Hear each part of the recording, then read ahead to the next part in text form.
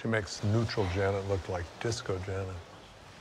Disco Janet was around for a while years ago. Hello there. Hi, hi there. What up, fart knockers? Hello. What it is, what it is.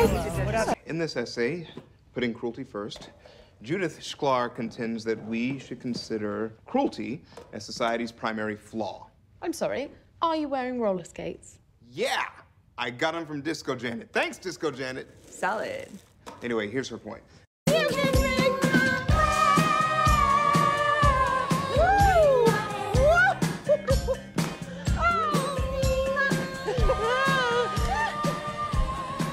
Second.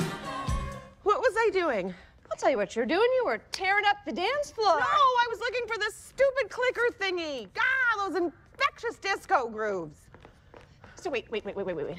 We have this amazing new idea, and Shawn is almost on board. Maybe if you talk to him, you could nudge him towards an agreement. I don't take sides. I am the judge. My only concerns are fairness and impartiality. Gonna